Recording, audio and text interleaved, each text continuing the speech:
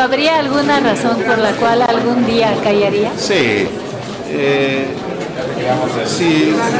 la publicación de lo que sé obstaculizaría un bien, no. Si el que yo publicara algo afectaría un bien mayor, en esos casos, pongo, como, pongo un ejemplo, clarito, cuando corren a Julio Scherer de Excelsior, Echeverría, eh, con López Portillo había la negociación para regresarle Excelsior, pero el corresponsal Alan Riding del New York Times entero lo difundió y con eso perder la posibilidad de que Scherer regresara a Excelsior. En, un caso hipotético de ese tipo, creo que me abstendría de publicar. Por un bien mayor. ¿Mm? Por un bien mayor. Por un bien mayor. Y cuando dices que diario te preguntas, ¿qué es lo que, hasta dónde llegaré? ¿Podré llegar hasta allá? Mira, hay dos, hay dos consideraciones. Una, eh, siempre me pregunto si lo que escribo es correcto, si la opinión está bien fundamentada en los hechos que tengo. Y me pregunto, esta frase, si, me, me reclaman, ¿qué podría responder? Y eh, por una razón, un texto es muy poderoso y puede dañar el prestigio de una persona, a veces irreparablemente.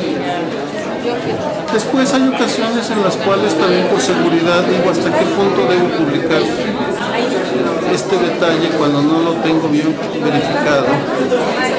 Porque cuando cubres el crimen organizado, por ejemplo, con los aparatos represivos del Estado, ya sabe uno que lo peligroso es dar detalles. Entonces ahí es donde a veces me pregunto, depende del tema.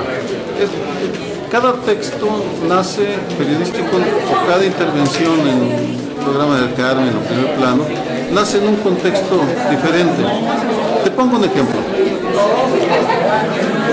No sé para qué sea, pero, pero vamos, creo que sí que este ejemplo, en el 2001 estaba en primer plano y nos eh, planteamos si íbamos a comentar un reportaje del New York Times sobre el romance que había en Los Pinos entre Marta Sagún y Vicente Fox.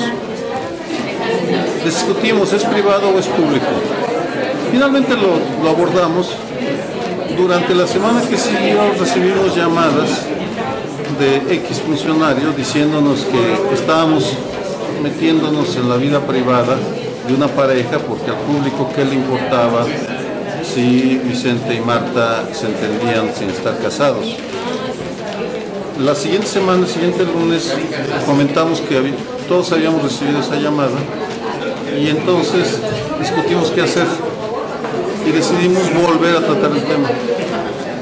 En ese caso, para reiterar que, considerábamos que sí era de interés público el saber que Vicente Fox y Marta Sagún, su directora de comunicación social en ese momento, eh, estaban entendiéndose, que eso sí era de interés público.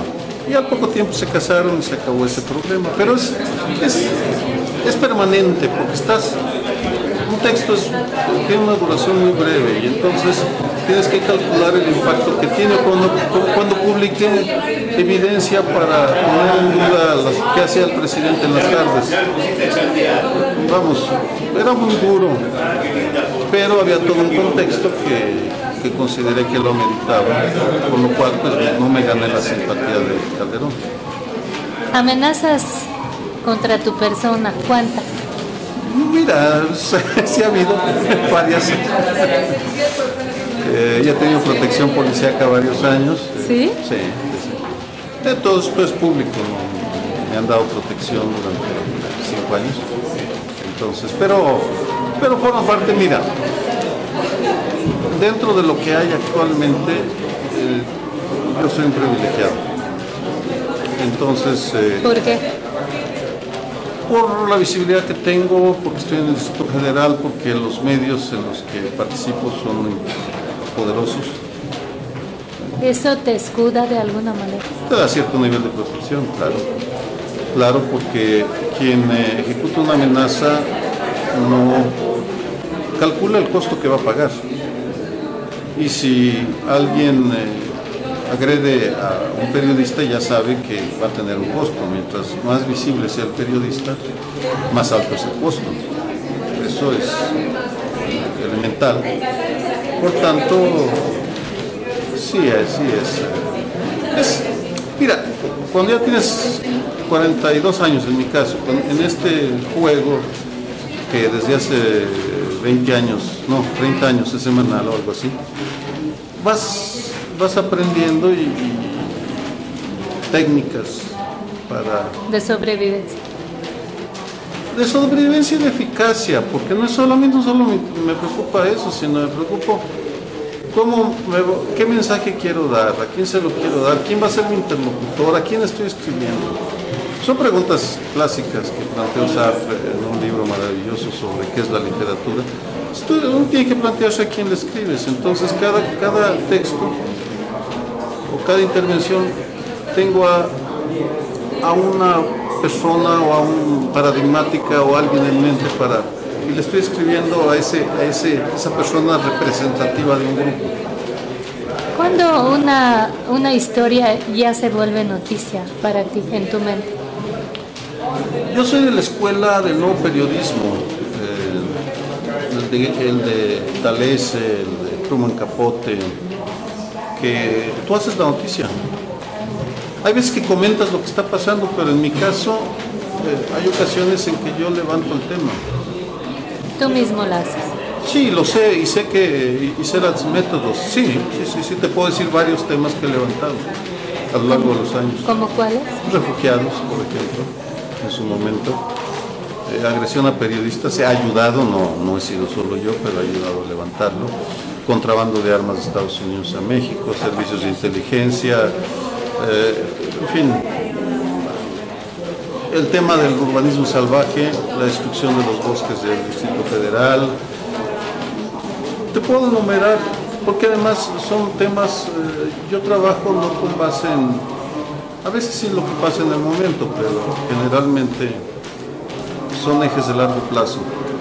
Y entonces tengo al equipo que me ayuda investigando permanentemente sobre tal o cual tema y voy decidiendo. Ya, ayer estaba preparando un texto para septiembre, una columna porque lo anticipo. Si tú ves lo que escribo, generalmente tiene información original. No siempre, pero busco que información. Eh, pero esto es más propio de una clase de periodismo que de una entrevista. Un amigo, un gran amigo que acaba de morir, Aristide Solver, él eh, nació en Polonia y sobrevivió porque lo adoptó una familia católica en Francia. ¿Cómo se llama? Aristide Arisolve. Arisolve. Él luego llegó a, Estados Unidos, fue profesor de mérito y escribimos un libro juntos sobre refugiados. Como vivía en el Soco neoyorquino, viví con él varios meses y, y él me enseñó la cultura judía y fue maravilloso. En fin, tengo muchos otros amigos, Mario Borman, Linda Tash, los romanos. Podría decir una, una, una lista muy grande de, de grandes amigos.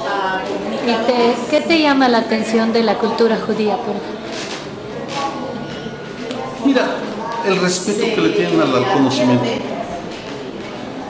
Te hablo del, del, no, no de las expresiones más... Eh, religiosas y dogmáticas del judaísmo, sino del, del, de, la, de la cultura. Ese es, por ejemplo, Margit Frank, ese respeto al conocimiento, Julio Frank, el respeto al conocimiento es algo que, que siempre me ha llamado la atención, porque aman el conocimiento en parte por la historia, ahí se refugian. En ese terreno en el cual ahí sí no hay jerarquías ni hay leyes que te discriminen, porque pues si tienes neuronas, las tienes, si no, no. Y las puedes llevar a todas partes. Y así las llevas, las llevas contigo, entonces. eh, y luego ya aspectos más, eh, el, el respeto a, la- a las tradiciones, aun cuando no sean muy practicantes, las siguen respetando de cierta manera y hacen un esfuerzo por apegarse y recuerdan el Hanukkah, en fin, todas las festividades judías que, que hay. Es, es una linda cultura. ¿Cuándo decides, o si alguna vez has decidido, de que no voy a publicar eso? ¿Cuál es tu límite? Eh, ninguna nota vale una vida. Entonces, cuando uno, eh, lo, lo triste y lo que menciona esta, esta exposición, no nos callarán, es que para hacer periodismo hoy en México se tiene que pasar por un, por un filtro de seguridad eh, a la hora de tomar una decisión. Y eso no es común en el periodismo, eso, es- digamos que es un elemento venenoso dentro de una decisión editorial. La decisión editorial se tiene que tomar pues si vale la, o no la pena la información, si es de interés público, si, si al final este, es una información que vale la pena publicarse. Pero el supuesto de que sí se puede y sí se debe publicar, pero al mismo tiempo no la voy a publicar por cuestiones de eh, inseguridad, pues me parece que es lo que esta exposición, no nos callarán, eh, trata de poner sobre la mesa. ¿Te ha sucedido un caso de estos? Sí, eh, o sea, hemos recibido amenazas donde eh, piden que dejemos de hacer, de escribir, de investigar. Eh, vaya, a lo largo de los últimos años hemos registrado más de 200 amenazas hacia reporteros y medios de comunicación, o sea que es un elemento común, es un elemento que sí nos preocupa. ¿Y, por- y tú crees que entre más tenga exposición el periodista está más seguro? Sí, es un elemento disuasivo. Es decir, eh, lo que es, mientras más los perpetradores vean a los periodistas más arropados por la sociedad, por el Estado, la decisión de asesinar, de desaparecer a un periodista es, es más difícil. Y Darío, ¿tú crees que esta exposición tendrá algún impacto? Sí, yo creo que es, un, es una muy buena aportación para, para acercarle a la sociedad la información sobre lo que está viviendo su prensa. La, necesitamos que la sociedad se entere que vive en el país más peligroso para ejercer el periodismo y yo creo que eso sí lo hace la prensa. ¿Y cuál es tu relación con la comunidad judía? Bueno, ahorita en la, en la curación de la exposición es, eh, siempre está muy cerca, reconocer el, el trabajo que han hecho dentro de este museo para acercar eh, posiciones, diálogos crear evidentemente una cultura de mayor tolerancia y respeto dentro de los límites a, la- a los derechos humanos y la libertad de expresión. ¿Y tú crees que el, la- el pueblo judío ha tenido algún eh, papel para, de alguna manera, eh, promover la libertad de expresión? Bueno, siempre han sido este, de- a lo largo de la historia un- una, una comunidad, un pueblo que ha ejercido la libertad de expresión, hay veces de manera posterior y algunas durante, durante momentos complicados en la historia, pero creo que sí es, es, una, es una sociedad comprometida con la democracia y la democracia, en la, en la democracia la libertad de expresión está intrínseca. Eh, por eso nuestra democracia ahorita está dolida por toda la falta de, de expresiones y de violencia que hay contra aquellos que informan.